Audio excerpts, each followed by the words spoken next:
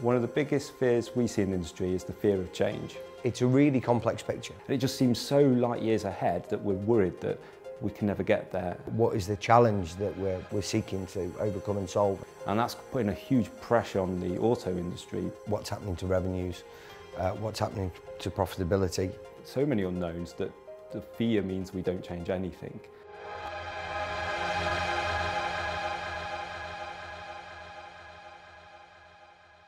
I think the um, if you look at the future of retailing, what what does what does tomorrow bring almost? Um, you can see that uh, over the last year and certainly this year, I think is going to be a big year in terms of more and more services becoming available online and more and more of the journey about obtaining a new car being available online.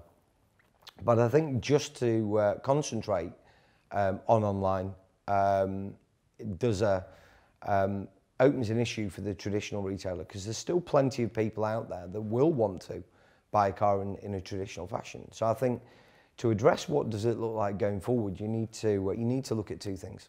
Um, first of all, is what does your on online presence look like? Can there's plenty of people out there that, that we believe would like to either complete the entire transaction online, complete some of the transaction online, or at least um, get an awful long way to uh, to knowing uh, what they want to transact to. But then also look at the showroom experience as well you know, the high streets and the village centres adapting to the challenges of out-of-town retail and the challenges of supermarkets. They made the experience really good. You know, they, they looked at encouraging um, a real experience-driven environment and making customers want to uh, enjoy buying things. And I think one of the things we have to accept as a car retailing industry is we haven't always done that. The experience of buying a car, the perception of buying a car from a consumer's perspective hasn't always been where it needs to be. I think the fear comes from the merging of different sectors. You know, we look at all these other sectors like retail, other service industries and see where they're going. And that's putting a huge pressure on the auto industry because they are they always seem so far ahead. So one of the biggest changes, uh, the disruptors in the, the automotive industry regarding technology, I feel, is Elon Musk and the company Tesla. Um, the way that they've um, taken a market that looked like it was all set out. Um, it was clear cut who was who and where places were. And they've said, no, it doesn't have to be like that. If you look at the wider retail sector, there, there's definitely influences, lessons that can be learned, um, things that can be picked up. So I think retail has changed so much over the last you know, 20 years. Um, and it will continue to change. And I think automotive's got things to learn from retail. Uh, I think retail's got things to learn from automotive as well, because um, in many ways we, we do things very well.